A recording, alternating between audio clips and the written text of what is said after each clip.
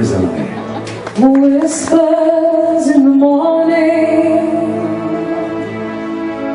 of a lover's sleeping time.